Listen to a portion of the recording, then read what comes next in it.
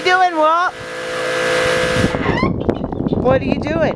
Well, I brought this cool little horse trailer and I'm just rinsing it out with the power washer for two reasons, mostly because it's dirty from sitting and because I really wanted to check the hardwood floor is the most important part of any horse trailer when you buy it used is the, is the flooring. If that floor's got weak spots and your horse can fall through it, and it's a nightmare that happens a lot in this country, and that horse is going to lose his legs while you're going down the road. And I can't imagine a worse feeling than having to put a horse down because of that, because you didn't take a few minutes just to check it out. If you can't do it yourself, it's well worth having somebody who knows a little bit about horses and trailers come and take a look at it for you. This one seems to be in good shape. Got a little rot here along the side wall. If there's anything in question, it's going to be these two end boards, this one and the other side, because there's also a little rot here. So this one I'm thinking is going to have to be changed. And they're just a 2x6 treated lumber, uh, then painted. They're screwed in in a couple of places. I'm going to have to figure that out after I get into it a little more. But I want to clean it for now. Uh, we had to rewire it yesterday and today. Want to get cleaned out and let it dry out really, really good. And then I'll go at these boards with a screwdriver, Phillips head. And I can feel that they're overall solid. But if there's some real pithy areas and that screwdriver sinks right in, that board's got to go. I don't think it's going to be too bad.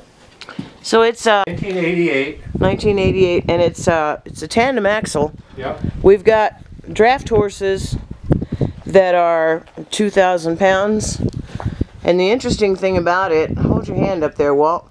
This is what's called a, a high top.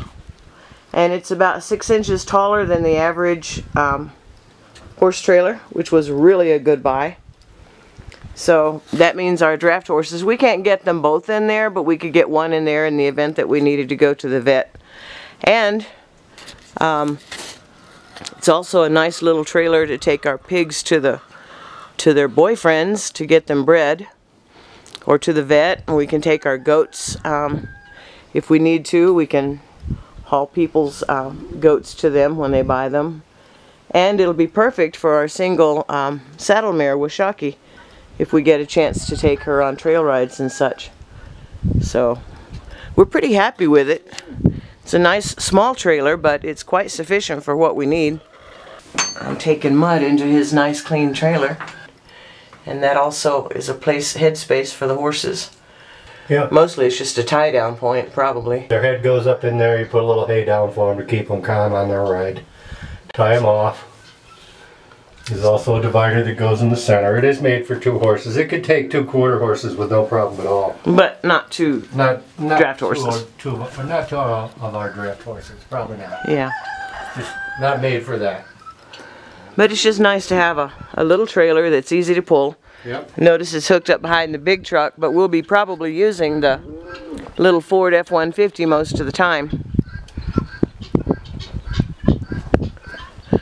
Well, we're going to get busy planting some, uh, I think we're going to go plant some herbs and maybe uh, a walnut tree that we bought.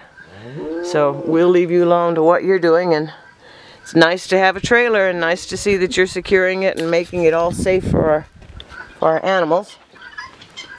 And we will let you go back to giving the trailer a bath. Alrighty then.